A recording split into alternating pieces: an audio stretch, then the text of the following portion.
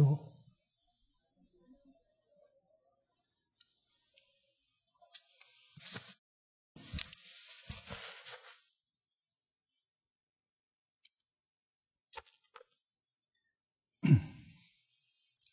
请看《大乘无量寿经解》第五百九十面啊，五百九十面倒数第六行。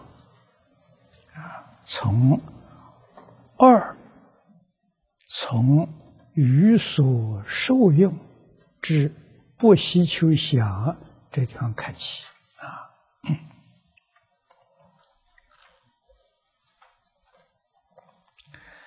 这是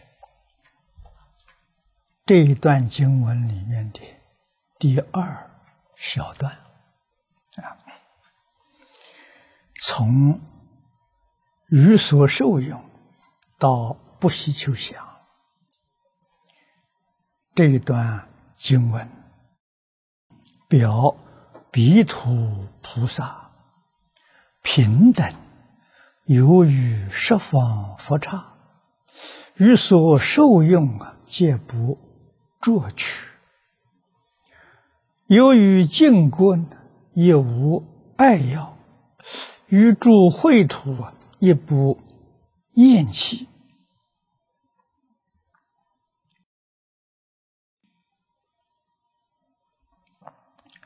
这是说明极乐世界的菩萨们。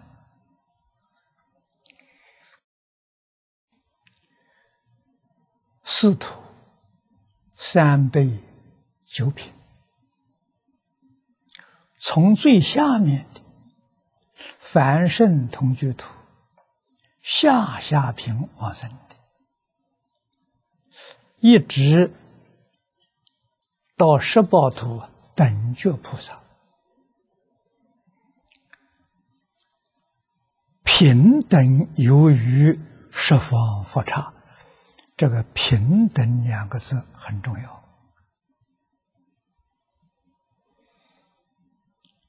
照一般来讲呢，这个界位是极不平等。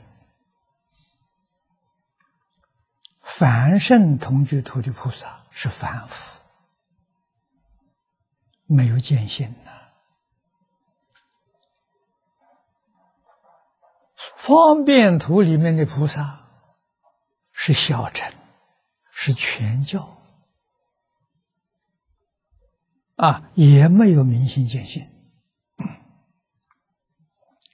但是他们都得到阿弥陀佛本愿威神的加持，借作阿惟越智菩萨，这是十方诸佛刹土里面。都没有的啊，只有极乐世界有。这就是十方佛为什么赞叹阿弥陀佛为光中极尊、佛中之王？道理啊，就在此地啊，弥陀的学生。啊凡圣同居土下下品往生，实际上他连小乘出国都没有证到。大乘教里面，实性菩萨他初信都没有得到。啊，实性位在大乘呢，像是小学。啊，初信呢，那就是一年级，小学一年级的资格都没有啊。如果真的初信位了，啊，也就是小乘出国了，他就在凡圣同居土，啊，在这在这个十宝图这个呃方便图，啊，方便图里面。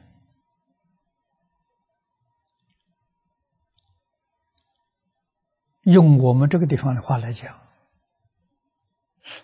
小乘出国，一直到十法界里面的菩萨、佛果，这些人生到极乐世界，全都是方便土。啊，明心见性之后呢，才能够升到十报土。啊，凡圣同居土里面，出国都没有到，啊，但是他跟这些等觉菩萨平等由于十方佛刹，这个是不可思议的境界。啊，所以净土啊。被称为男性之法，道理在此地。啊，阿弥陀佛，为什么能加持？这个道理前面我们学过了，真有道理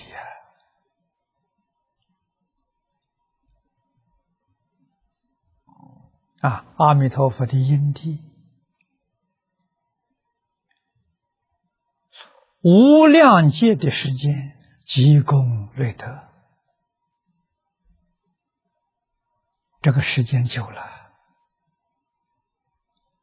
说明他的根底啊非常的深厚。啊，在十五界之前，他是国王的身份，啊，遇到。世间自在王佛，舍弃王位，出家修行。啊，自在王佛给他起的法号叫法藏比丘。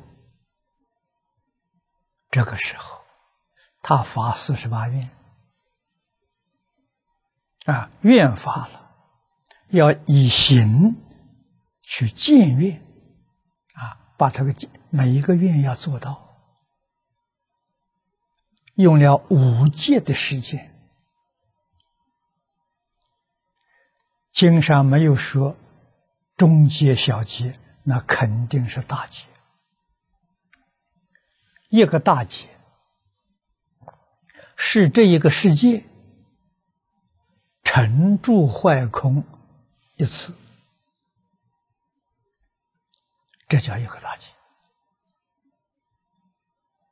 你说这时间多长？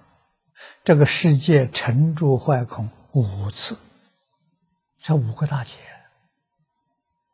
这么长的时间，把四十八愿愿愿都做得圆满了，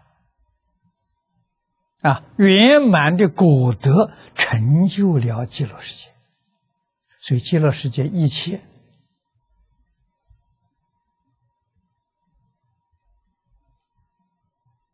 不是人设计的，也不是人去施工建筑的，自然形成。这个道理很深啊！我们在前面详细说过啊，极乐世界这种情形，跟我们这个世界遇见第五层天、第六层天就很像了。第五层天是化乐天，第六层天是他化自在天。啊，我常常用这两种天来比喻我们往生极乐世界是什么情形呢？极乐世界所有的受用都是阿弥陀佛变现的，一切法从心想生。在极乐世界是完全兑现所以思一得意，思时得时，想什么他就来了。这个道理，科学家懂得，但是没做到。啊，极乐世界实现了，啊，它的原理就是一切法从心想生。啊，现在佛这一句话被科学家证实了，讲的不清楚，有这个意思，我们听得懂。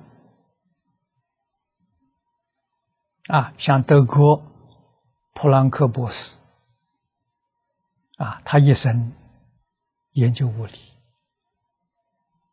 研究量子。啊，特别注意这个物质，物质到底是什么？被他发现了。根据他研究的报告，他说：“这个世界上根本就没有物质这个东西。物质是什么呢？物质的本质。”是意念累积变成一种幻象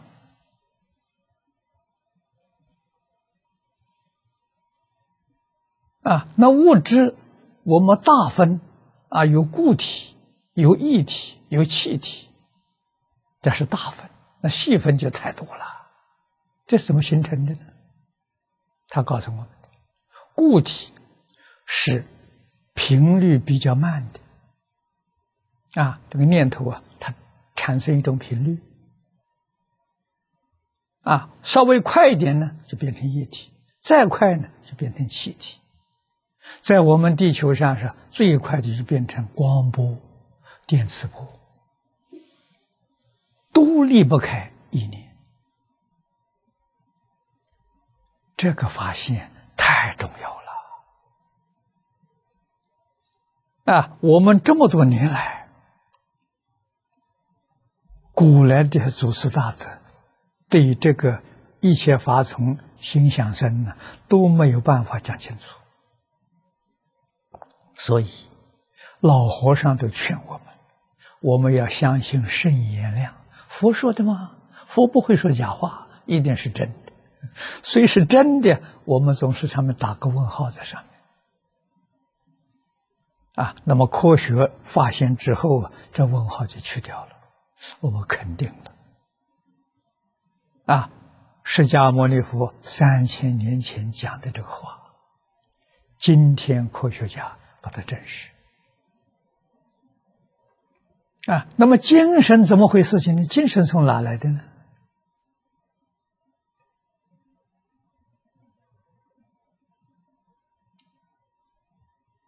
普兰克告诉我们，精神是无中。生有，这个话我们听得懂，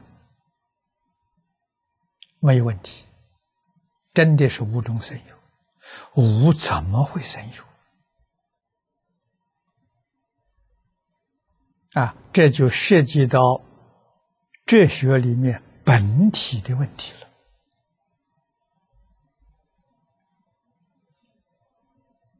了。啊，古今中外哲学对于本体论还是个谜，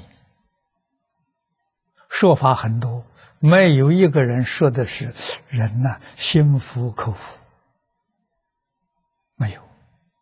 可是这个事情，唯独佛经里头讲的清楚。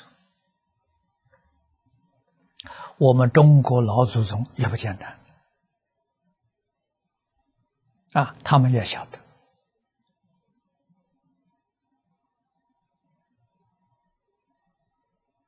也都懂得这些原理，跟佛经上所讲的非常接近。啊，它不是无中生有，它从自信生的。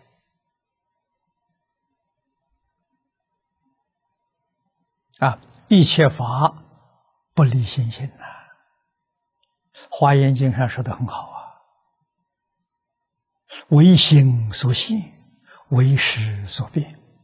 那么今天识被科学家发现了，心没找到啊，这个心是真心，不是妄心啊，实是妄心，就是阿赖耶，阿赖耶被科学家发现了，这个不容易啊啊，阿赖耶能变呐！宇宙之间千变万化，怎么来的？阿赖耶，阿赖耶会变，真心能现啊，能现能生是自信啊，能产生变化，变化无穷，这是阿赖耶啊，阿赖耶里头有起心动念，有分别，有执着，这就叫。一切法从心想生。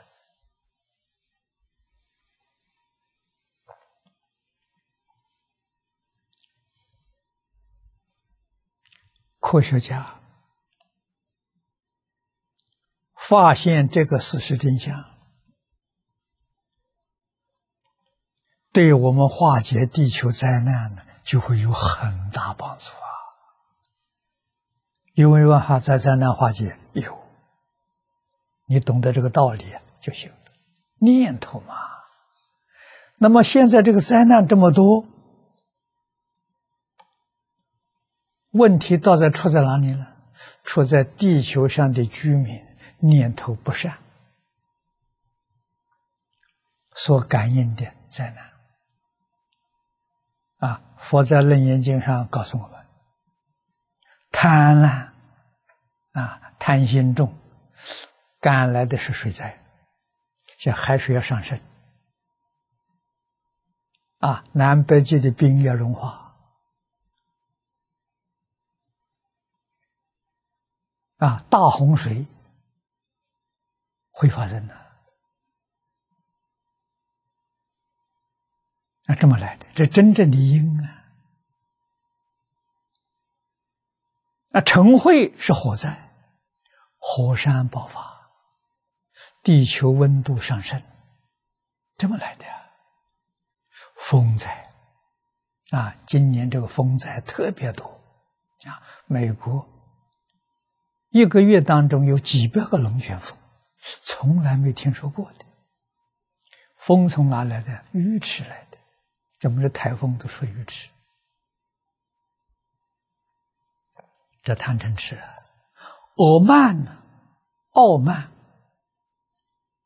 感应的是地震，傲慢，不平，地震从这来的，还有一个怀疑，啊，这个怀疑问题可大了，信心丧失了。今天很多人讲啊，这个世界现前这个时代是信心危机的时代，这话说的不错啊，啊，你去问问这些一般人，年轻年老的。他相不相信自己？不相信，自信心失掉了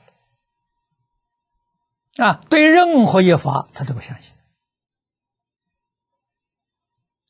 啊！儿女不相信父母，夫妻互相不相信啊！兄弟姐妹不相信，那对祖宗、对古圣先贤。对诸佛菩萨当然更不相信了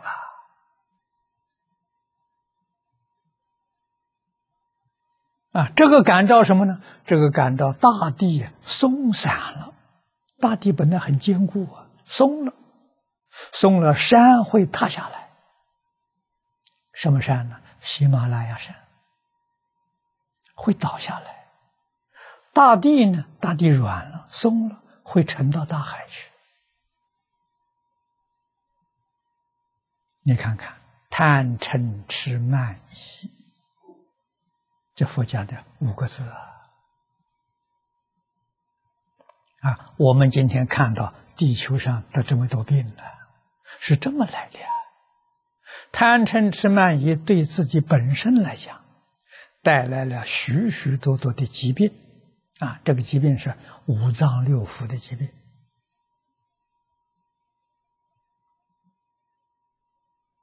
啊，那我们要救自己，让自己健康长寿。你把这五样东西断掉。啊，我们居住的地区有这些灾难，能把这些灾难化解，也是把这五样东西断掉。啊，所以佛教导我们呢，勤修戒定慧，熄灭贪嗔痴，身心健康，啊，大地没有灾难。西方极乐世界没有听说一个人生病，佛介绍这么多，没有听到说，呃，佛讲西方极乐世界有什么病院，啊，也没有医生这个行业，没有听说西方极乐世界有灾变，为什么？佛告诉我们，那个地方的居民是十方世界以民过去的，以民的条件，实在讲呢，只有一个：心地清净啊，就这么一个条件呢。心净则佛土净。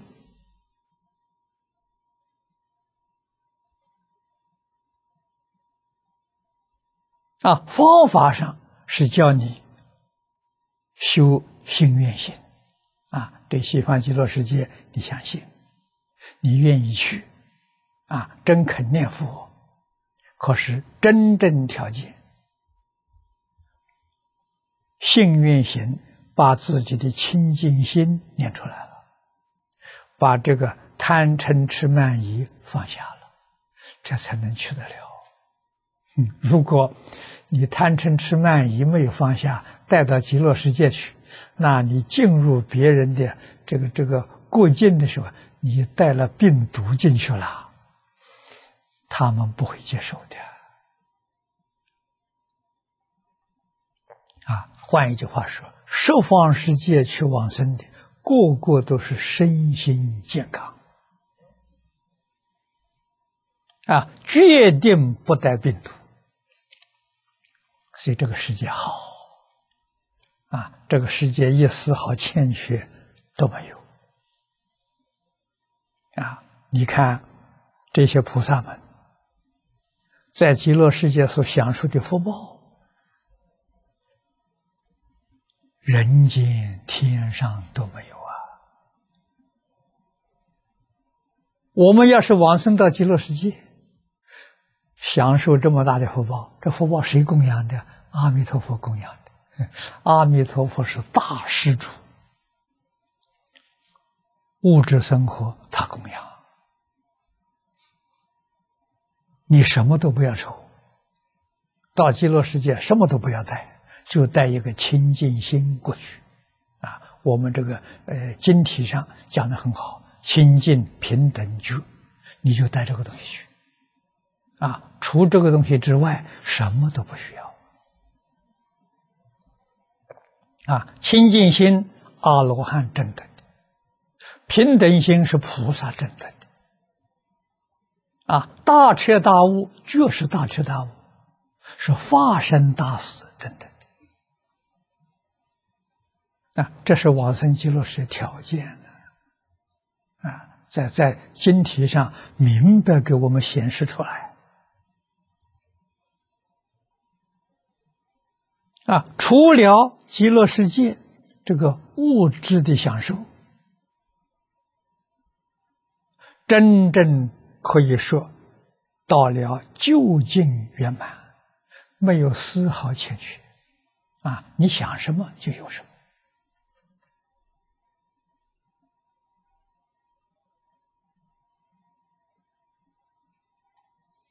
阿弥陀佛，天天为大家。讲经说法，这西方极乐世界是学校啊。阿弥陀佛是老师，菩萨是学生呐。啊，学生程度不相同，有上中下三等。啊，最高的化身菩萨已经明心见性了，诸十八图。其次的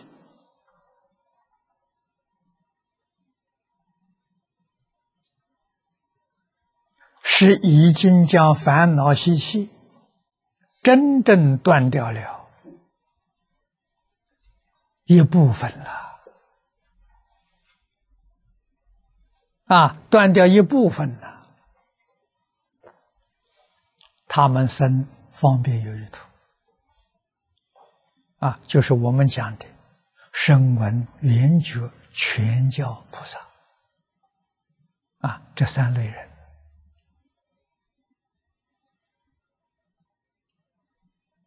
方便图里面三品，上品全教菩萨，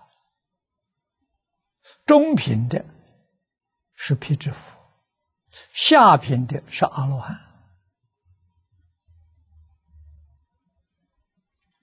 凡圣同居图里面，一品烦恼都没断，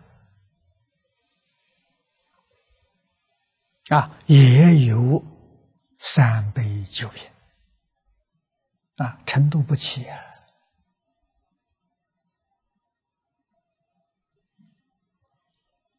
每一天接受阿弥陀佛的教诲，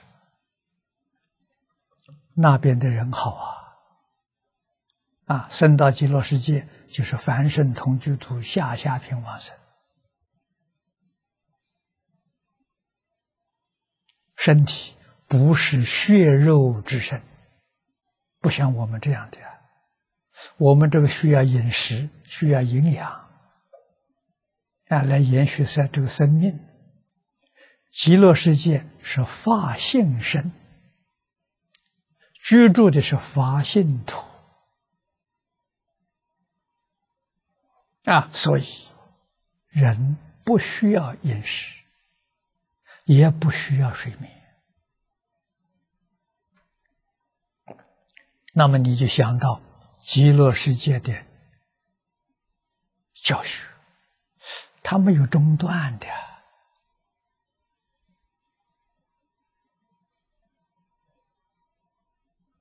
而且到处都是讲堂，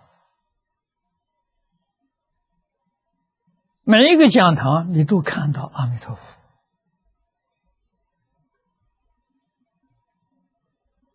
啊，亲自给你说法，阿弥陀佛太多了，是阿弥陀佛的分身啊，应身。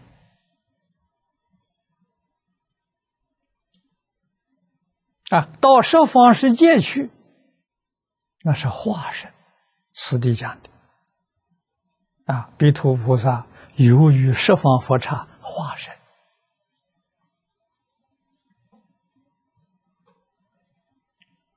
到十方世界去干什么？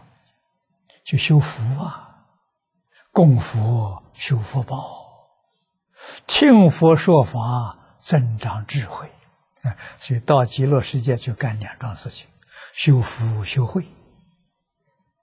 啊，佛跟慧修到圆满了，你就成佛了，你就毕业了。毕业之后。你到他方世界，这个世界跟你有缘，你到那边去做佛去了。啊，你在那里教化一方众生，跟西方极乐世界是一个模式，啊，跟阿弥陀佛学的嘛，好像就变成阿弥陀佛的分校一样了。这个分校啊，变法界虚空界。啊不可思议，于所受用啊，皆不着取，受用一切圆满。着是着相，取是我们今天讲的，希望控制它，希望占有它，希望据为己有，这是取。啊，西方人有没有这个行为？没有，因为他没有贪嗔痴了。啊，他需要的时候就有了，不要的时候就空了，就没有了。啊，这是科学家曾经讲过，能与质的互相转变。啊，能量。可以变成物质，让我们受用。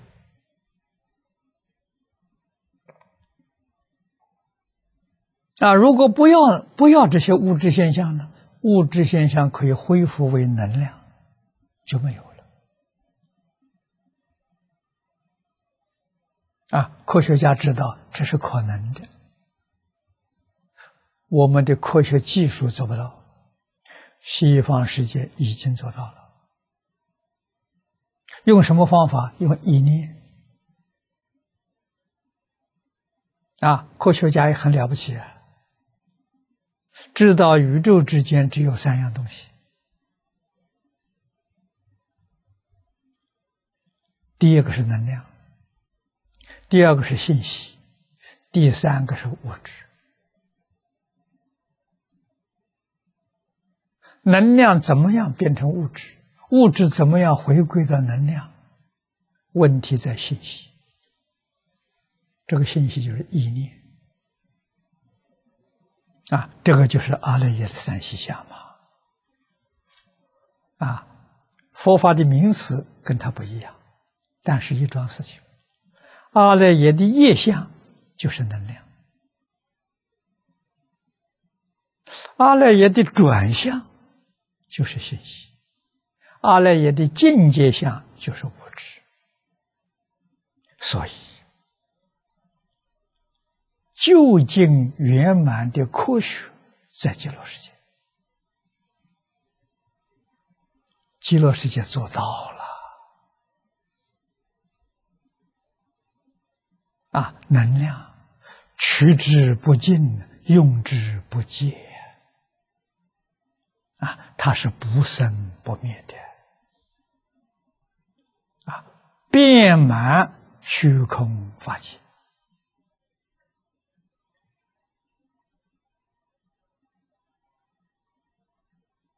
啊，阿弥陀佛知道怎样把能量变成物质，他懂得，不稀奇。我们欲界天第五天的天人，他也知道，他也会变。第六天福报大了，他所一切的受用，不需要自己变，自己想。要什么东西？第五天收到信息，就变化来供养他。那他不要了，不要自然就没有了，多自在呀！啊，欲界第五天、第六天能做得到，极乐世界怎么会做不到呢？啊，所以对于极乐世世尊介绍极乐世界这是物质环境啊，我们就一点怀疑都没有了。啊，确确实实知道是从心想生。啊，现在这些信息渐渐的被科学家发现了。啊，但是。科学家的极限，释迦牟尼佛在经典里面告诉我们，啊，也就是用第六意识。我们今天讲用思想，用研究，啊，用这个心，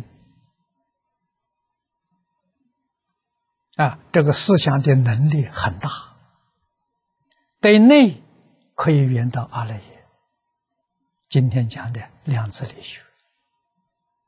到极限了，对外呢能够圆到虚空法界。啊。今天的科学确实向这两个方向发展，一个是搞宏观宇宙，一个是搞量子力学。宏观宇宙是无限大，量子力学是无限小。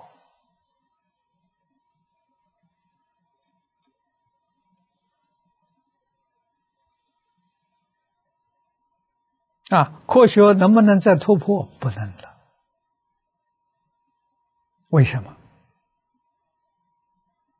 科学哲学的研究都必须要有对象。啊他才能观察。他才能想象。如果没有对象他就无可奈何了。因为自信它不是物质现象也不是精神现象也不是自然现象。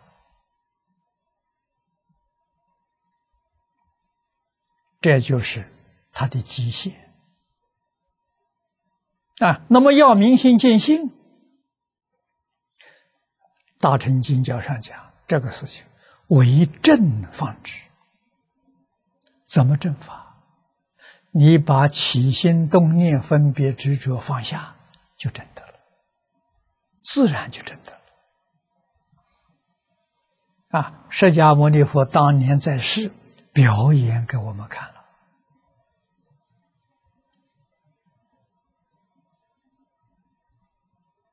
我们看经典上记载的，他十九岁离开家庭。舍弃王位，舍弃皇宫里面的物质生活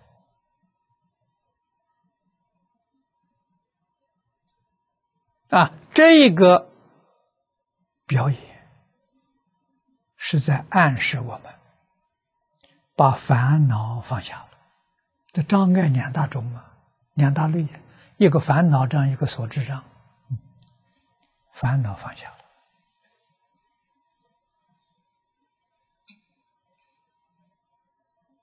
了啊！出国去游学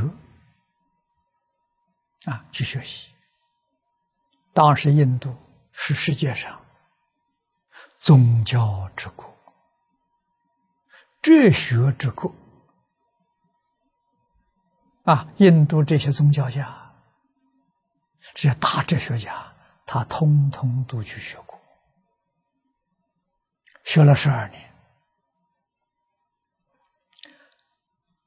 他的视线，用现在的话说，就是一个非常有着狂热的求知欲一个年轻人。光学多闻呐，什么都想学啊！啊，这是知识分子啊！啊，热衷于求知。十二年呢，大概所有的这些高人都见过了，问题不能解决。啊，因为印度的宗教跟哲学，他们都崇尚禅定。啊，佛这些知识从哪来的？从禅定当中来的。在禅定里面，空间维次没有了。啊，所以人在四禅八定当中，能够看到。二十八层天，下面能看到阿鼻地狱。啊，在这个三千大千世界之内，他没有不没有不看见的。啊，他亲亲自看到、听到、接触到，他太清楚了。那还有什么问题呢？啊，我相信释迦牟尼佛有这个六道从哪来的？为什么会有六道？六道之外还有没有世界？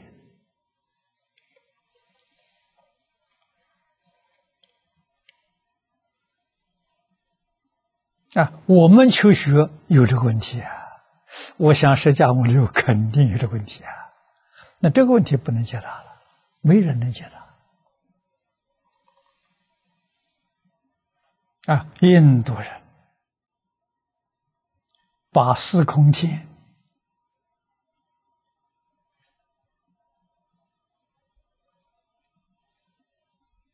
认为是宇宙的本体，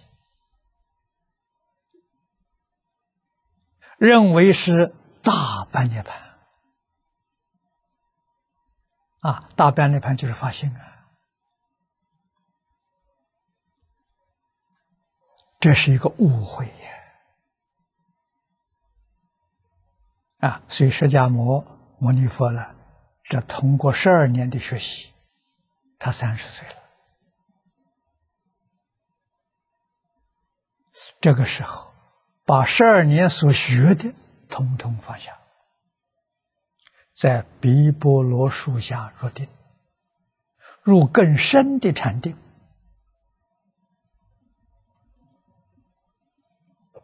突破四禅八定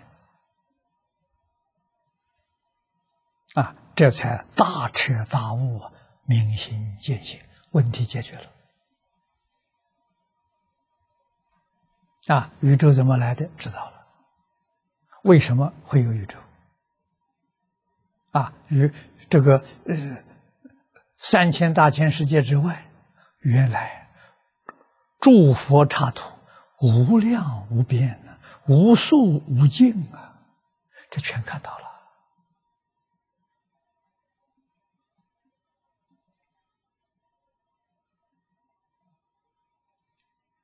啊！这个碧波罗树以后就称它叫做菩提树啊。现在我们都称它菩提树，它在这个树下开悟的。怎么开悟了？把十二年所学的东西放下。所智障放下了，啊，二障没有了，自信里面的智慧德相统统现前做出榜样给我们看。啊，成佛不难，断在放下，你肯不肯放下？啊，不肯放下，那就没法子了。啊，六十年前，我第一次跟张家大师见面，向他老人家请教。啊，佛门里头有没有方法，让我们很快的起入佛的境界？啊。他老人家告诉我六个字：看得破，放得下，你就进入。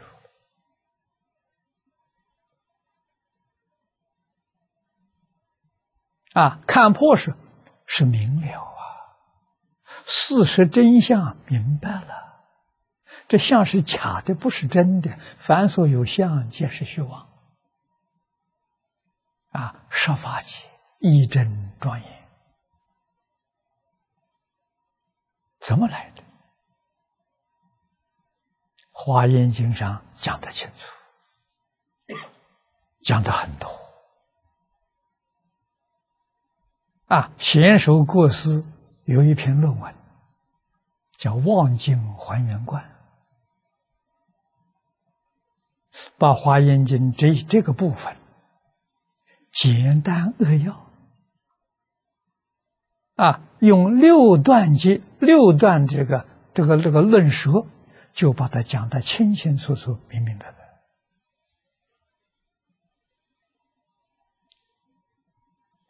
那是佛知佛见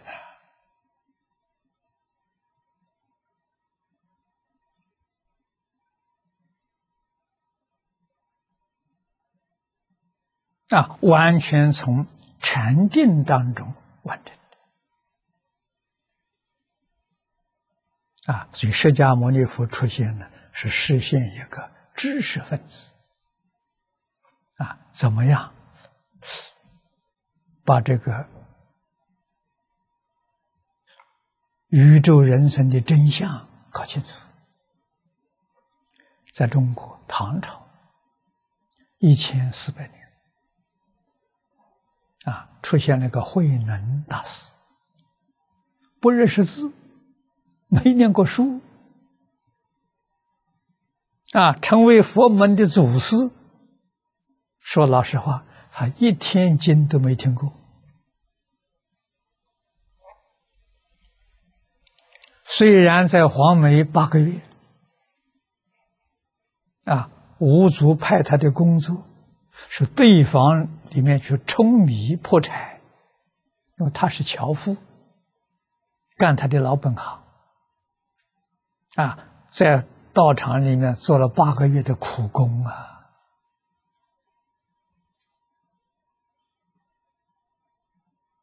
这寺院里头有讲堂，他没去过；有禅堂，他也没去过。啊，禅堂里头没有做过一炷香，讲堂里头没有听过一堂课。啊，五祖就把衣钵传给他了，他成为禅宗第六代祖。凭什么？凭放下。张家大师讲放下啊！传法的那一天，这《坛经》里头记得很清楚啊。五祖在方丈室召见他，时间是半夜，三更。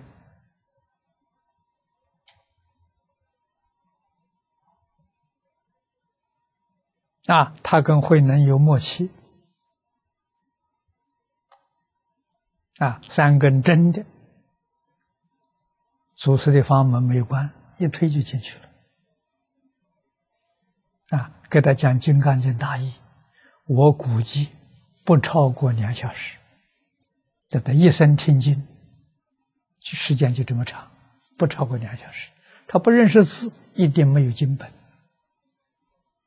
啊，老和尚给他讲《金刚经》大意啊，讲到“应无所住而生其心”，他豁然大悟。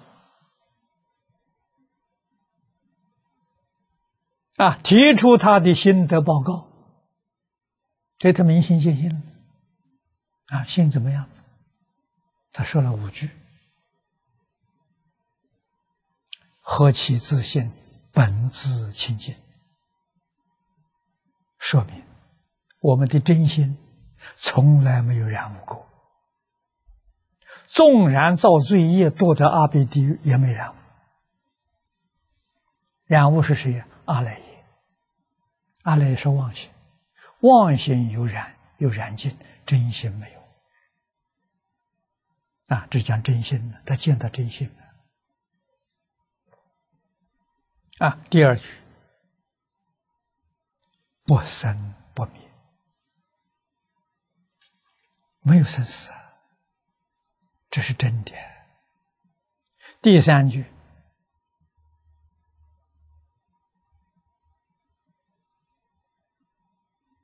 本自具足，啊，就是自信里头本来有的，有什么东西呢？华严经上佛说过，一切众生。皆有如来智慧德相，就是慧能大师讲的这一句：自信里头本来具足无量智慧，无量的德能啊，就是今天讲的能力呀，无量的相好。我们中国人讲福报。福报包括在相好里头，无量无边，都是你自己有的，不是外头来的。啊，所以佛教人呢，从内去求啊，不要到外去找啊，到外面找不到啊。啊，求智慧，求能力。求道德，求相好，都到自信里面去找。啊，明心见性，它全都出来了。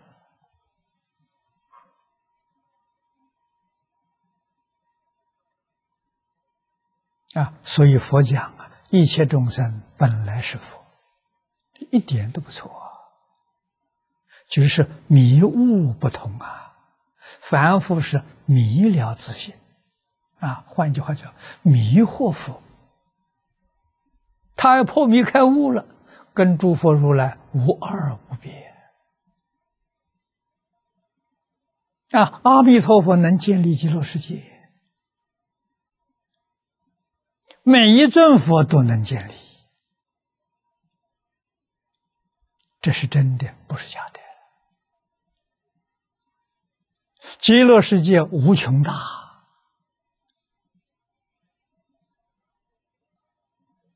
啊，所以阿弥陀佛建立了。十方诸佛需不需要建立？不需要。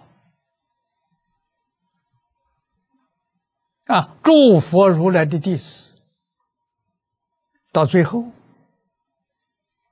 啊，学习到了最后，这些诸佛如来都劝导他的学生。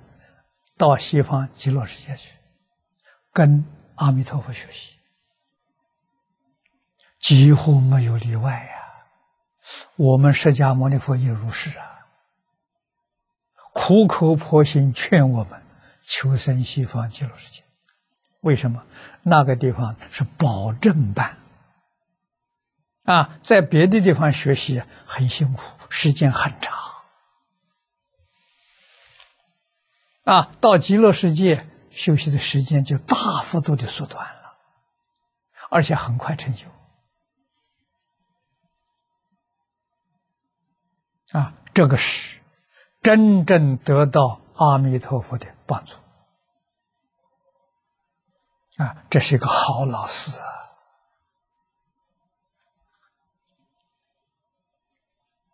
诸佛如来没有不赞叹他的。所以，说他们呢，几乎天天都去参访十方佛刹。啊，你看自己的本身，在阿弥陀佛讲堂没有动啊，在听经没动啊，他的分身能够分无量无边身，十方诸佛那个地方，他通通都去了。啊，供养佛，啊，带的礼物，礼物不需要预备，想要什么，已经在手上了。供佛是修福，闻法是修慧。我们在这个世界上遇到一个善知识都难的不得了，到极乐世界。每一天可以参访十方诸佛如来，就凭这一点，我们就应该早一点到极乐世界去。啊，其他诸佛国度做不到啊！其他诸佛国度要到什么时候，你才有资格？平等由于十方佛刹，要什么程度？要大彻大悟。没有大彻大悟，就跟着老师，不能离开老师。啊，就像《华严经》上的善财童子五十三参，他有条件的。啊，善财的老师是文殊菩萨。在文殊菩萨会下的根本智啊，的根本智呢，就是明心见性，就是大彻大悟，像慧能那样的啊。有这种条件的，你才能够出去参学。为什么？你有能力辨别真假、邪正、是非，你是有能力辨别。你没有这个能力，你到外面参学，你遇到些妖魔鬼怪怎么办？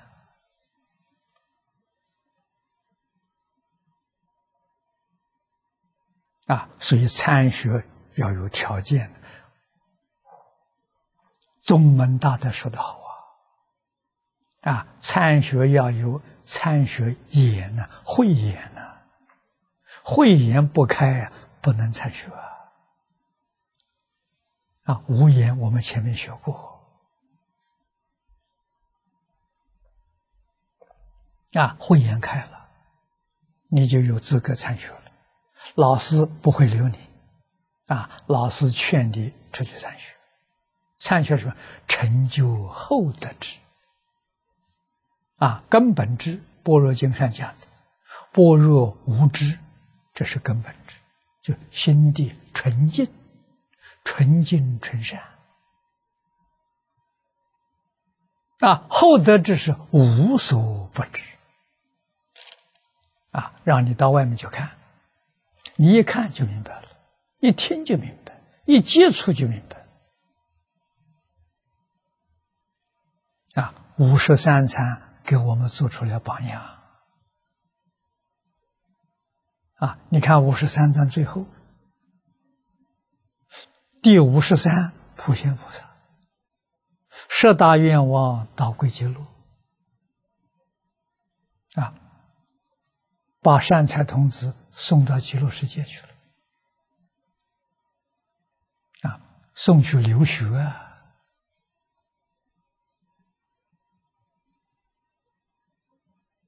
啊，善财这样的资历，到西方极乐世界，生十报庄严土。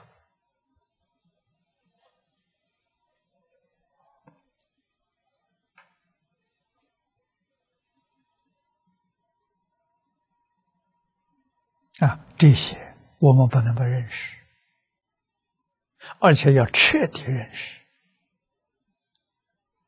我们这一生去西方极乐世界是真有把握，这不是假的。啊，我们自信都不是外头来的吗？全是自信的本能。啊，到那个地方才能够恢复，才能把所有的障碍、烦恼、习气，把它洗刷干净了。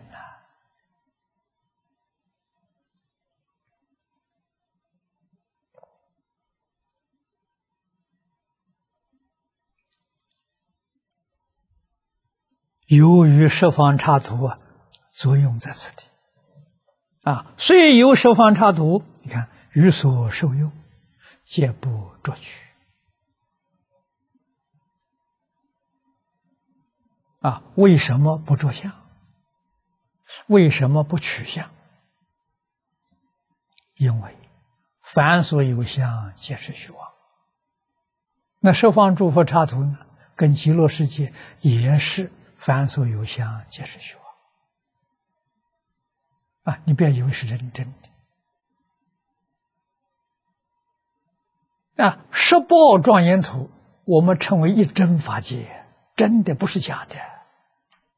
那个真假是对十法界讲的，他跟十法界比，十法界是假的，他是真的。为什么呢？十法界是无常，刹那在变化，十报图里头没有变化。只有心性，没有识变，因为他识已经转成智慧了，转识成智了，所以十报图里头没有变化。啊，十报图里的人寿命很长，啊，《华严经》上告诉我们，因为他就是他怎么来的呢？他是无始无明习气来的，只要习气不断，这个世界就现前；习气断了。这个世界就没有了，啊，也是一场梦啊！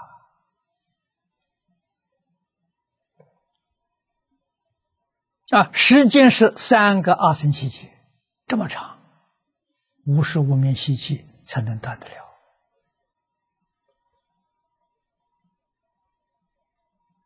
啊，吸气每断，这么长的时间，人不产生变化。我们这个人随着年龄的老化了，极乐世界未老化，永远年轻，啊，寿命是三大二生七劫，啊，相貌一点没改变，这年轻人呢，不但人，啊，这是这么多菩萨在那里面没有变化了，永远不改变的，花草树木永远不凋谢。山河大地永远不会有灾变。这叫一真法界啊！可是无时无明断尽，你从等觉再提升到妙觉位了，这个世界就不见了。所以佛说：“凡所有相，皆是虚妄。”没有说诸佛如来十报图是例外的，没讲。啊，当然十报图也包括在其中。这是我们不能不知道啊！啊，只有长寂光图，那永远不永远存在。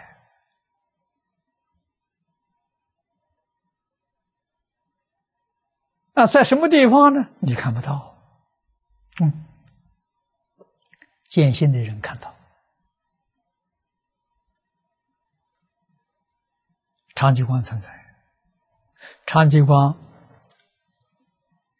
三种现象都没有，啊，没有物质现象，没有精神现象，也没有自然现象，但是它能生三种现象，能生万法了，啊，慧能大师说的，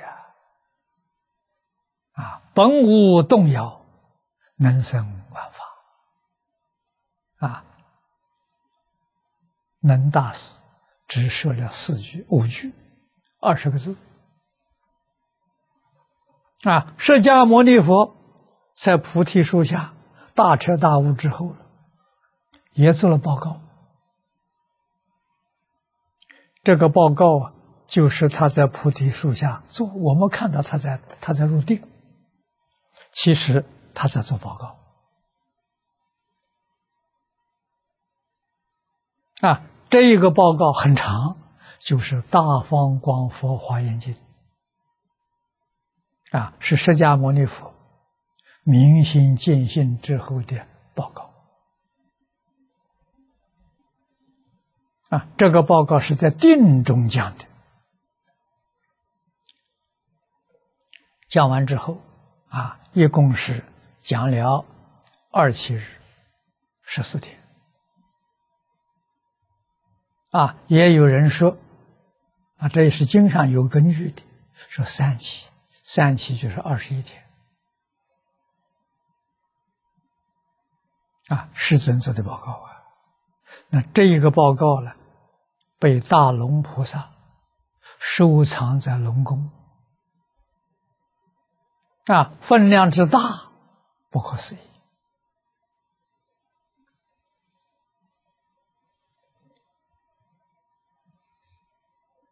啊，《华严经》前面有详细的说明。龙宫里面有三种本子，有大本，有中本，有小本。龙树菩萨进龙宫，啊，这是大龙菩萨把他接接过去，去参观释迦牟尼佛所说的一切经，他看到了。啊，大部的《华严经》这分量多少呢？佛法里面算分量跟中国人不一样，中国人算这一一部书是多少个字，以这个做分量。啊，像老子五千言，五千多个字。啊，用这个做数量，印度不是的，印度是以四句为一个单位，叫计。不管是长行是计诵，四句做一个单位，叫一首计。啊，那《华严经》是多少个计？龙树菩萨告诉我，十个。三千大千世界未成绩，一世天下未成品。这天文数字啊，无法计算了。龙叔看到这一部经呢，他本来是有傲慢的习气，啊，自以为这个世界聪明智慧是第一人，再没有比他高的了。看到释迦牟尼佛这这一部经的时候，傲慢习气立刻就没有了，不能比呀！啊，龙树是初地菩萨了，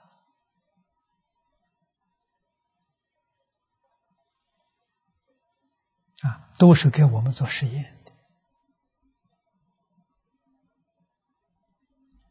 中本还是太大了，最后看小本。小本是什么呢？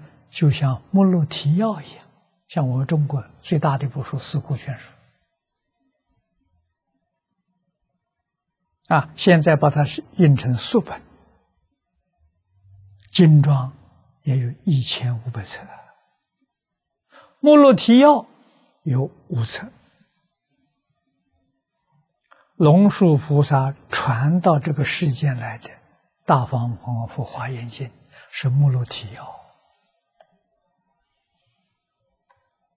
啊！他说：“这个我们世间人可以受持，可以学习啊！这个目录提要多大的分量呢？十万计，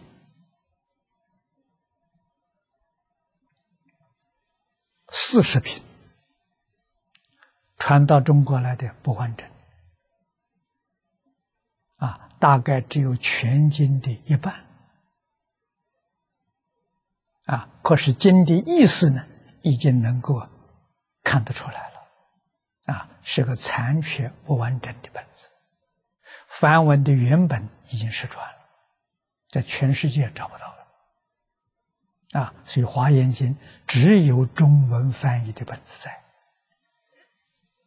啊，听说梵文呢。四十华严最后的一卷《普贤菩萨行愿品》，梵文本还有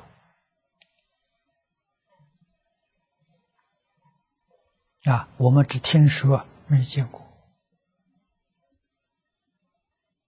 啊，所以最完整的华严经是中文的译本，真的搞清楚、搞明白了。你对于世出世间一切法，不再执着了，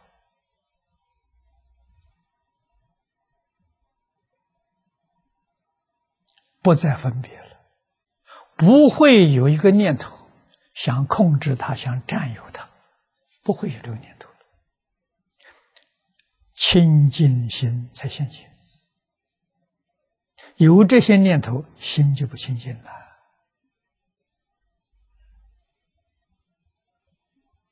啊有住净果，也无爱要啊！每天去参访设方诸佛刹土，对设方刹土的清净国度有啊，清净国度里面，多半讲的时候没有六道，有没有这个世界？有。我们在《华严经》《华藏世界品》《世界成就品》里面看到，啊，释迦牟尼佛给我们介绍的，对这样的清净国度呢，你没有爱要，就是说，你看了之后不会起贪念。啊，与诸秽土啊，亦不厌弃。这秽土是六道，像我们这个世界六道啊，特别是三恶道、恶鬼、畜生、地狱啊，看到怎么样呢？也不嫌弃啊，完全是平等心对待啊啊，对于。变法界、虚空界，万事万物亦无希求，不希求想，就是不会有这个念头啊！有什么希望？有什么要求？没有啊，没有希望，没有都没有，这就真清净啊！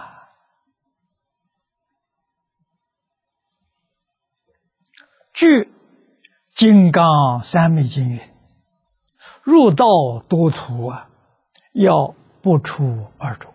”啊，这《金刚三昧经》里头说的。啊，入道是其如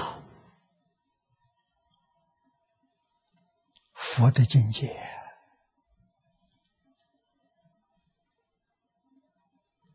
啊，也就是极乐世界这些菩萨的境界，啊，入的是正果，他正入了，方法很多，多图通常讲的。八万四千法门，四弘誓愿里面讲的无量法门，啊，方法多，太多了。把它归纳起来呢，不外乎两大类：第一个是理入，第二个是行入。啊，理是明白了，事实真相了解了。啊，其如境界自然就不动心了。啊，我们有没有如自己清楚。啊，真正入是什么样子呢？六根在六尘境界上，叫眼见色，耳闻声，啊，鼻嗅香，舌尝味，六根接触六尘境界。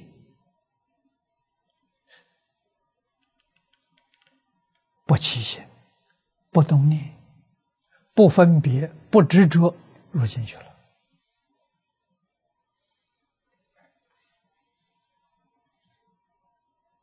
如果还有起心动念，没如啊，这要懂啊！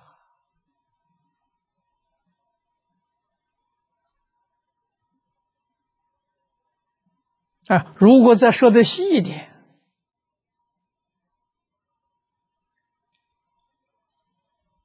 大乘经里面通常给它分成三个阶段阶段，啊，由浅而深，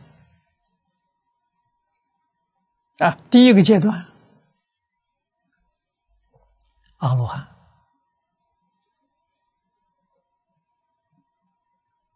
啊，阿罗汉有起心动念，有分别，没有执着。啊，与世出一世间一切法，通通没有执着，也叫入啊，入的浅呐。啊，入什么呢？用我们今天来说，入清净，清净心得了。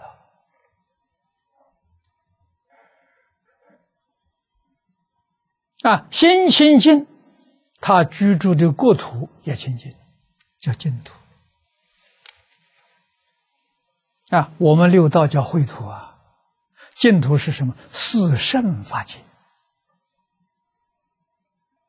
啊，这个里面居住的是阿罗汉、辟支佛、菩萨和佛，这四种人住在那边。啊，叫净土啊！那对于我们六道来讲呢，六道是秽土，染污，严重的染污。啊，为什么严重染污？没有佛菩萨来教化。我们现在就这样的，过去三百年之前。这个世界在中国这块大地，有儒释道三家圣人在这个社会上教化众生，所以这块大地有福啊，长治久安，礼义之邦，和谐社会。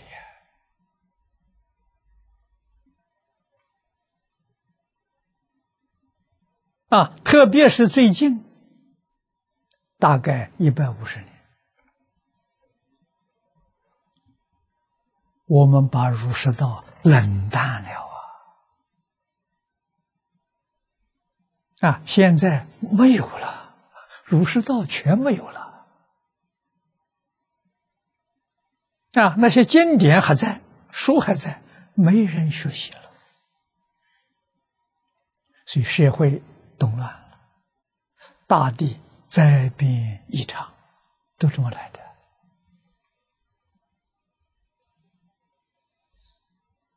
啊，西方极乐世界为什么没灾呢？阿弥陀佛天天在教，十方诸佛如来常常到那个地方也去帮助阿弥陀佛教学。啊，好像阿弥陀佛是校长。十方诸佛到阿弥陀佛，到极乐世界都是教授的身份，帮助阿弥陀佛。啊，极乐世界是道道地地的一所佛教大学。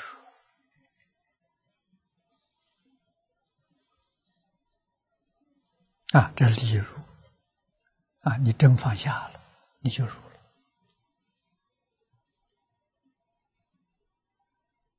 啊，住在净土上这些菩萨，能把分别放下，能把起心动念放下，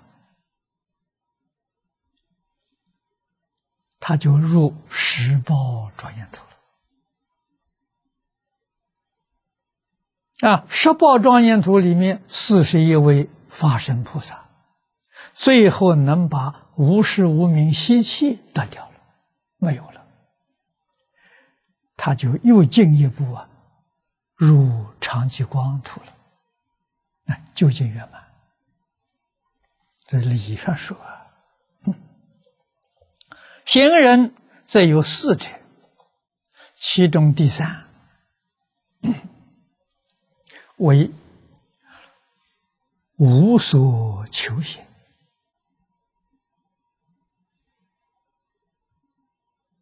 这个好啊！人在这个世界，我们中国古人常讲：“与人无争，与世无求。”实际上，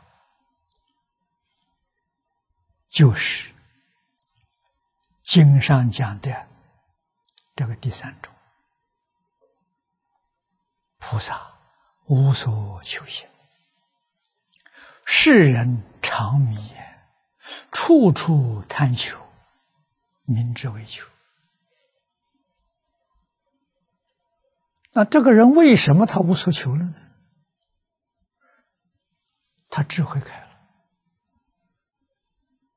他了解事实真相。真相是什么呢？真相是假的。啊，离体，三种现象都没有。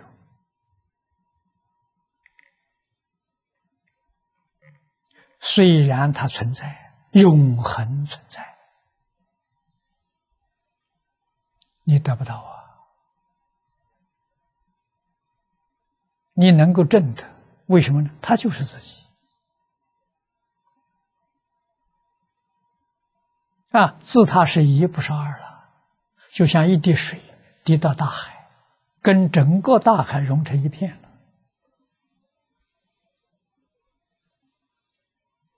圆满的证得了啊，没有需求啊。智者悟真，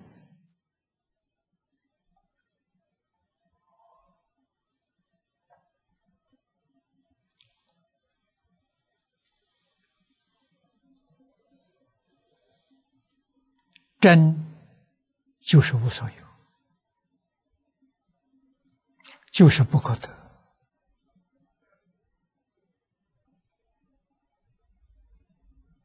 啊！无所有是无什么呢？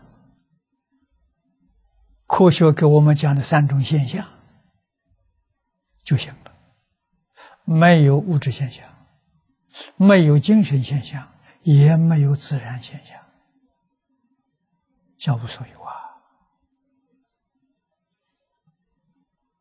万法皆空啊，所以安住无为啊。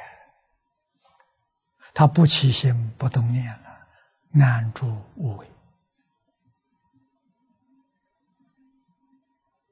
慧能大师讲的：“何其自信，本无动摇。本无动摇是自信本定，就是这个地方的安住无为。”就这一句，他不动了。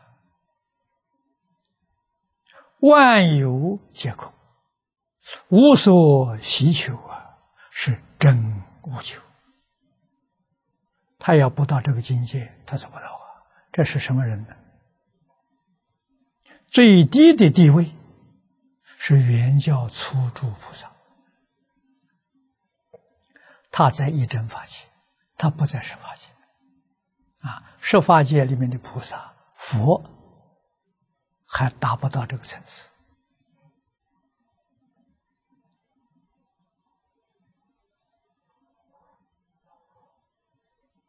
啊，顺道而行，故谓之无所求行。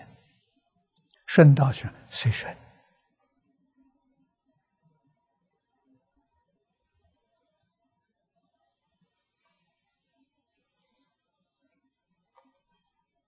贤首大师《还原观》里头给我们讲的四德，这个四德。是化身菩萨之所行，就是无所求行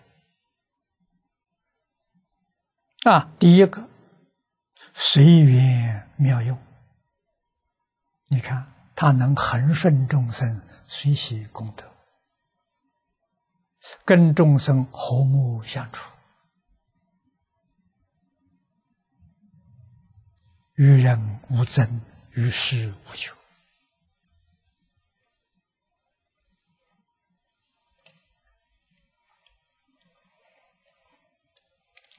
他跟一切众生都能够相处的很好，你说为什么？大家有没有想到？他跟任何一个众生没有利害关系。那众生有求，他不求嘛？不发生冲突吧？啊，彼此都有求，那个麻烦就大了。啊，菩萨无所求嘛，佛无所求嘛，所以他跟十法界众生都是好朋友。道理就在此地。我们跟人往来，如果有求，就会产生冲突。无求就不会发生冲突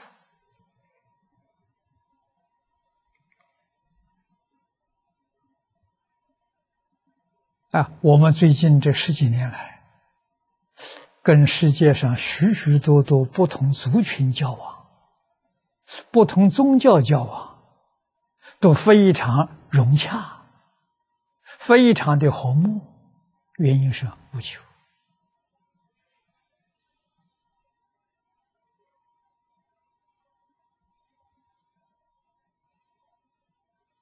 啊！当他们有有困难的时候，我们全心全力帮助他。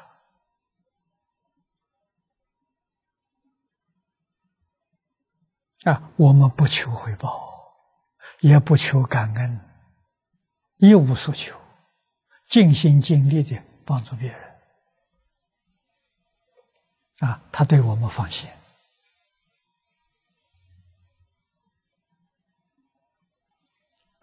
诸佛菩萨在一切诸佛刹土里面的十法界六道，用这个心态来给这一切众生相处，啊，帮助一切苦难众生。这叫大慈大悲呀！啊，你要问什么个道理？道理是众生跟自己是一体，佛菩萨知道，凡夫不知道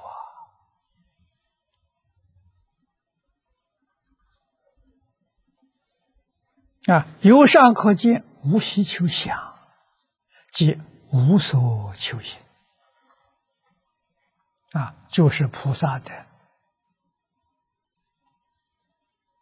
这四四行当中的无所求行，也无不希求想，即不希求这个念头也没有。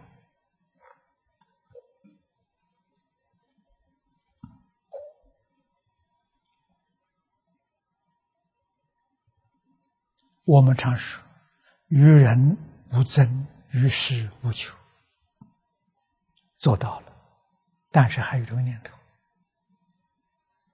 这念头也是个妄想，这念头不应该存在。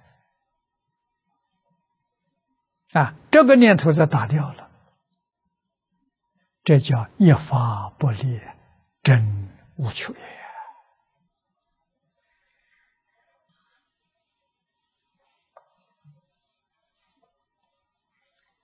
下面更进一步的来解释，解释的非常好。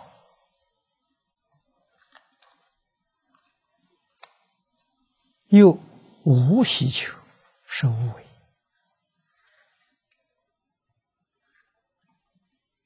无不需求呢是不住无为，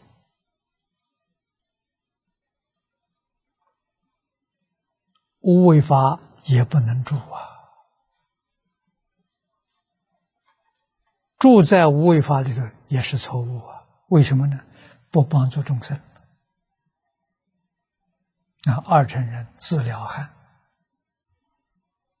啊，自己切入境界了，这境界好啊！啊，看到苦难众生呢，不去援手，那他的事情与我不相干啊！所以不住无为。啊，遇到有缘，自然就有回应，感应道交。是不住有为，不住无为呀，放弃中道啊，这例如啊，大臣发生大事，他们所切入的啊，他们对这个事情。清楚、明了，一点都不迷惑。啊，以上明彼土极乐世界的菩萨平等有差的妙德。这平等有差，不单是自利。啊，自利，刚才说过，供佛是修福。啊，闻法是求慧，福慧双修啊。另外还有一种呢，看到苦难众生跟自己有缘的，你就得去帮助他，真叫自行化他了。自行化他是分身。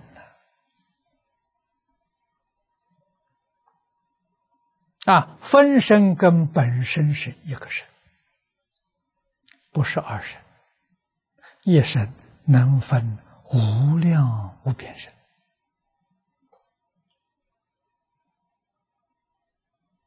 帮助众生，这积功累德了。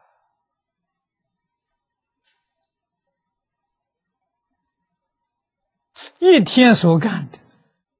就累积无量无边的功德，何况常年累积都在干啊！从这个地方，我们就能体会到，极乐世界这些菩萨，他们的福慧功德无量无边，不可思议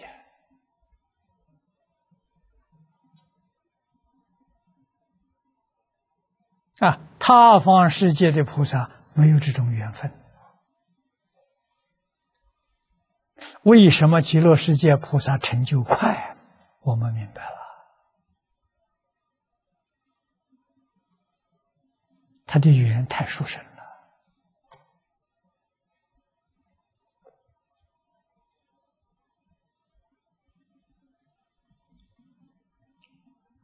再看底下第三段，啊，第三个小段，名平等度生之德。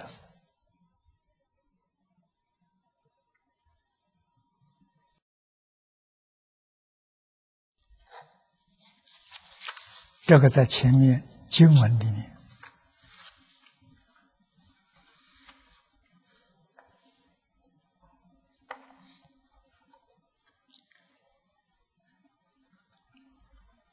彼诸菩萨。与一切众生有大慈悲利益心故，舍利一切之处，成就无量功德，以无碍慧。揭发落入。啊，这是就说这一段。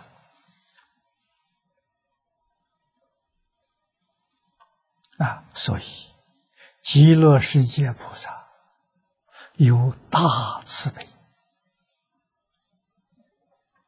每一个往生的没有慈悲心不能往生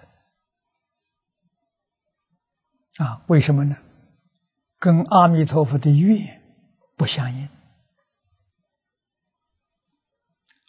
阿弥陀佛的心是一切皆成佛的佛心呢。阿弥陀佛的愿是四十八愿，愿愿都是帮助众生。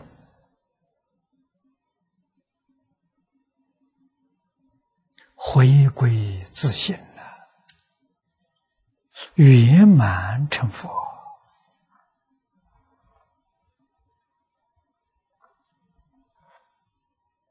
啊！那么菩萨们的行，我们在这看到了，在极乐世界跟阿弥陀佛学习。除这个之外，每一天没有离开。设方诸佛插图啊，每一天去参学，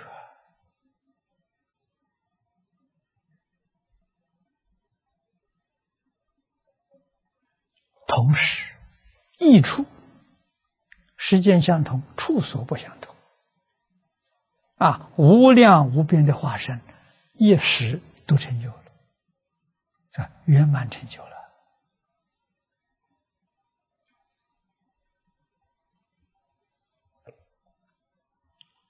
啊，说故于一切众生，不计亲疏恩怨，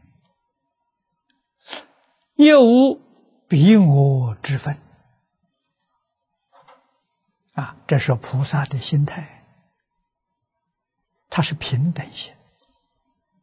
啊，菩萨到极乐世界，都证得了清净平等觉，这是阿惟越之菩萨条件。自己没有证的，阿弥陀佛加持他。虽没有证的，他也等于具足清净平等觉的智慧功德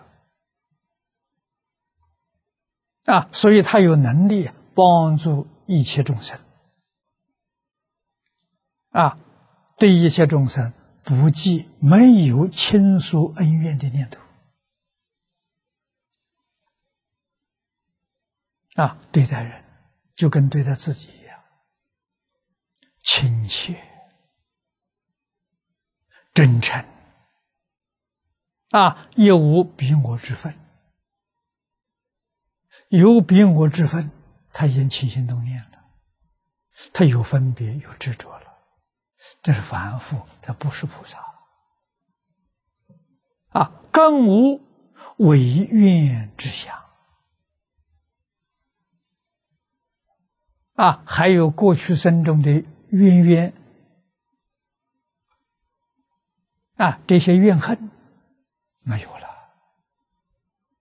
全都化解了。啊，视同一子，这是比喻。啊，好像父母啊，只有一个独生子，那真爱护啊。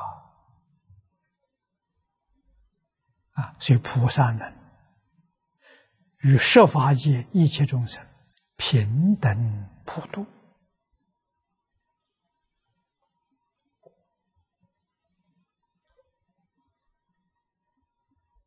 啊，这些事情都是讲极乐世界菩萨。我们读了这些经文，应该要学习啊。我们在这个世界。有没有这些恩恩怨怨？有啊，有这些事情啊。应该怎么看待呢？要跟菩萨一样，用平等心看待。啊，这些恩怨因果是过去迷而不觉造成的，现在明白了，觉悟了。把这些阴影一扫干净，行吗？行。以前的心是昏暗的，现在的心是明亮的。啊，光明把黑暗去除了。啊，所以对一切众生呢，以平等心；对人要平等，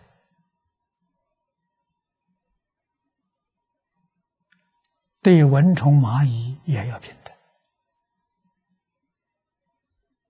对树木花草也要平等，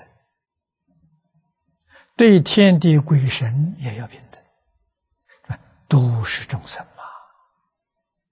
乃至于山河大地，平等的慈悲心，平等的爱心，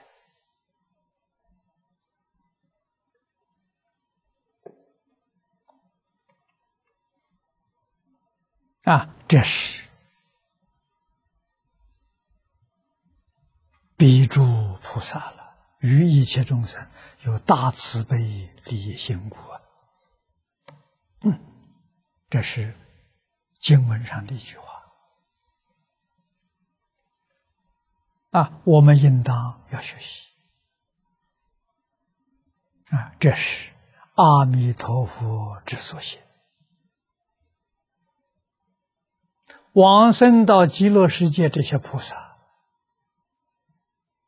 都学会了，都学到了。啊，我们在今天修行修什么？这叫真修行。我们现在搞错了，每一天念多少声佛号叫修行，每一天读经啊拜佛叫修行，错了。真修行就是六根接触六尘境界，就修平等心，修清净心。修觉而不迷的心，这叫真修啊！这才重要！啊，定这些功课是做什么用处呢？那是舞台表演，表演给没学佛的那些众生看，让他们看了之后对佛法起恭敬心。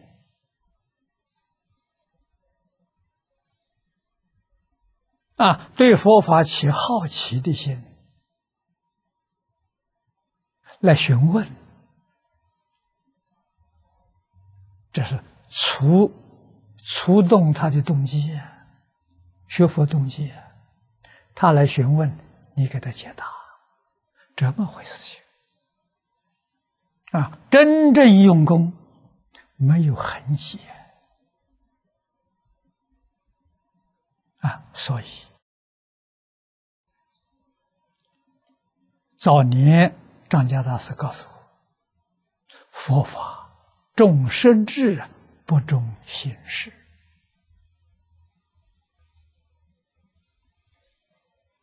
我相信这句话了，不是张家他老人家自己说的啊，因为我有一次在新加坡。跟新加坡纳丹总统在一起，啊，吃饭时候我们俩坐在一块。他告诉我，他是印度教徒，的印度人。他说他我最佩服佛教。哦，这佛教重实质不重形式，跟张家大师讲的一模一样。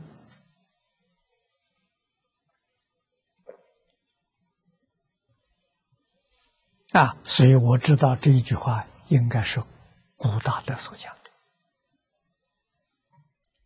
讲的好啊，叫真修行呐！啊，形式不重要，形式是做给别人看的，做广告。啊，劝别人学佛要用形式，自己的真功夫不重形式。啊，这个。不可以不懂。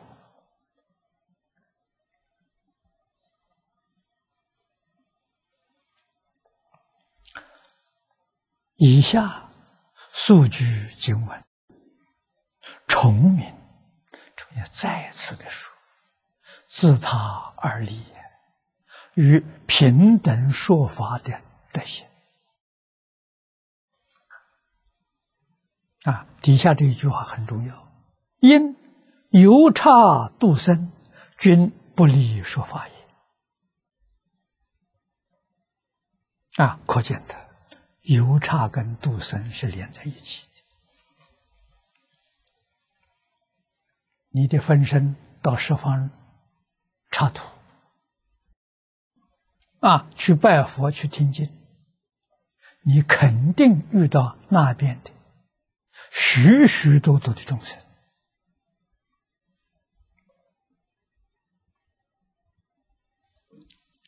根性不相等，程度有差别。你能不为他们说法吗？你能不为他们表演吗？啊，表演做给人看的啊！所以四德里头，第一句那是讲原则。随缘妙用啊，妙用是不着相啊，不起心不动念，不分别不执着，妙用啊。第二句讲唯一有责啊，要做一个很好的榜样给大家看呐，让大家向你学习。啊，这个榜样，释迦牟尼佛做出来了。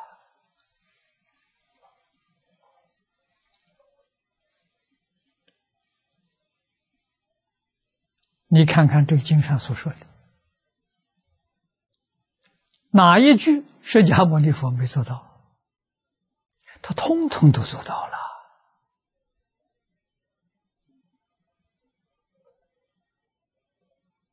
啊，做到之后再讲给我们听，再教导我们，我们没话说，服了。如果释迦牟尼佛自己没做到，我们肯定对他的话有怀疑。啊，你说这么好，为什么你没做？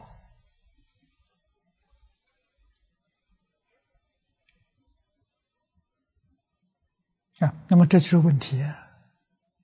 佛通通做到了，我们还有什么话说呢？啊，只有仰慕，只有追随跟进。啊，希望我也能欺辱释迦如来的境界。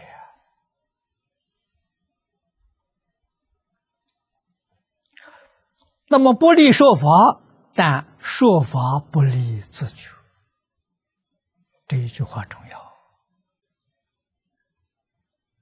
自己没有去，说法说什么法了？说别人的。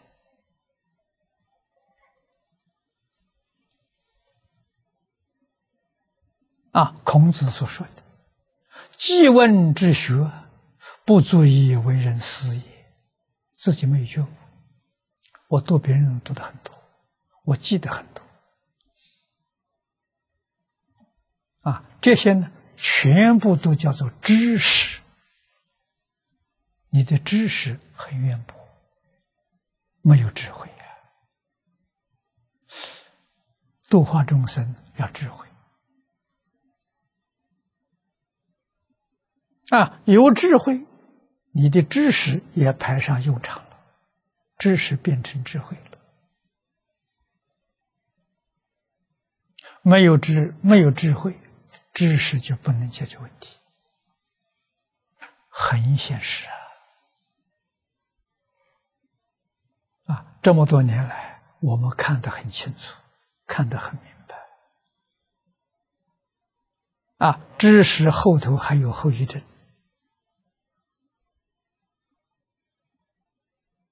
啊，把问题搞得越搞越复杂。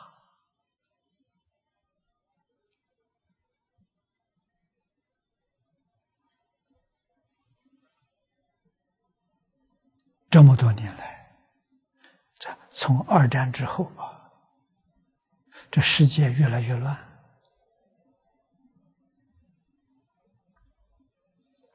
灾难越来越频繁。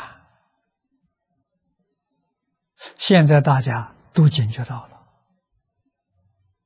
也不忌讳了。啊，前些年来还忌讳，不谈灾难啊。从去年我发现了，啊，每一个人见面呢，大家都谈灾难，这现象好不好？不好。为什么？佛经上说的。一切法从心想生，大家都谈灾难，都想灾难，没灾难，灾难也被你想出来了，这个不好啊！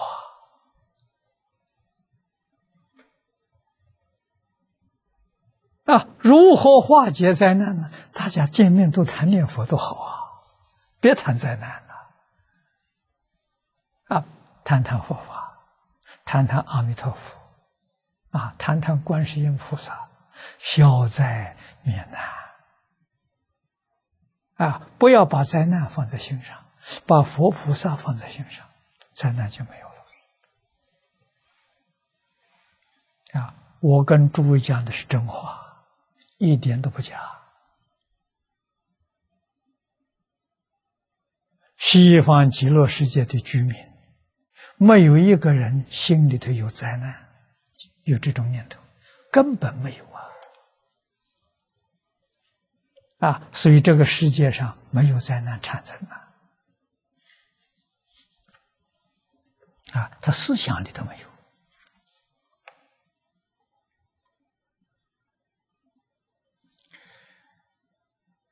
故下云啊，这个经底下说：舍利一切执着，成就无量功德。以无碍慧揭发入入，崇明自立之心圆满了。那么这个四句以舍利执着为首，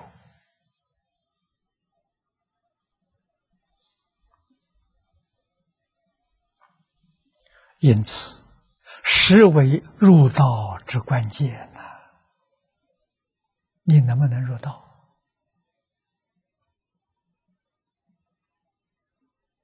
要从这下手。你说这多重要啊！今天我们学佛，无论出家在家，不能够欺辱，就是因为有执着。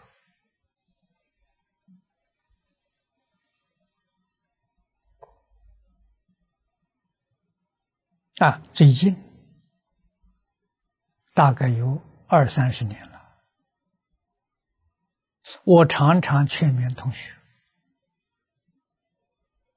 也劝自己放下自私自利，放下名闻利养，放下五欲六尘，放下贪嗔痴慢。我到处都讲啊，逢人都劝呐。啊，我讲的很老实。我说这我讲这十六个字，你通通能放下？有没有入佛门？没入。啊，我跟你说真话，我这十六个字是带你到佛的门口。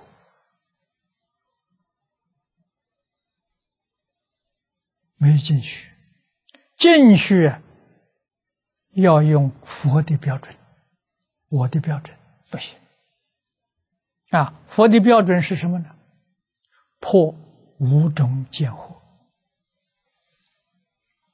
你就切入了。入什么境界呢？小乘出苦，大乘粗心为菩萨，虽然是很浅。啊，这小小圣，你可是圣人了，你不是凡夫了，你已经入佛境界了，刚刚入进去，很浅，但是是真的，不是假的。那么五种见惑的头一个是身见，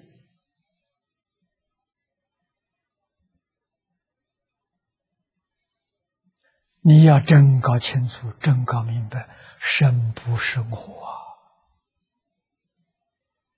那生不是我是什么呢？是我所有的，我所，就像衣服一样，衣服不是我，是我所有的。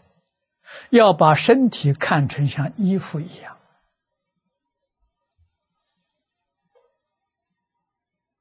金刚经》前半部说：思想无我相。就是无神相啊，无人相、无众生相、无寿者相，这四相刚刚破，就是虚陀洹。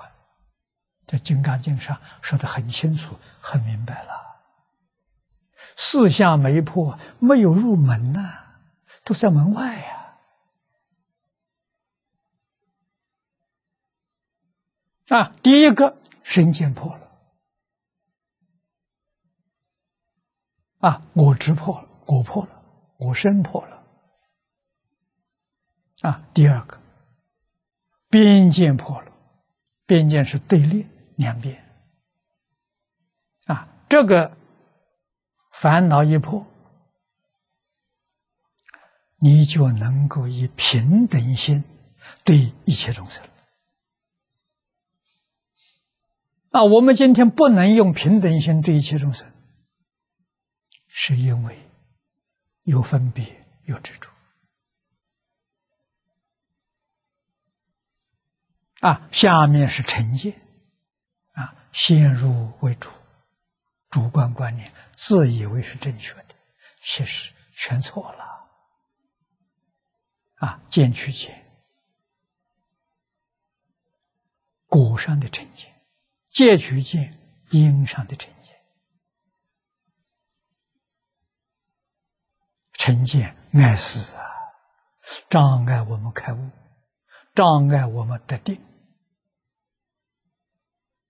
啊！所以舍离一切执着，是入道的关键，是入道的枢纽，不能不认真学习啊！今天时间到了，我们就学习到此。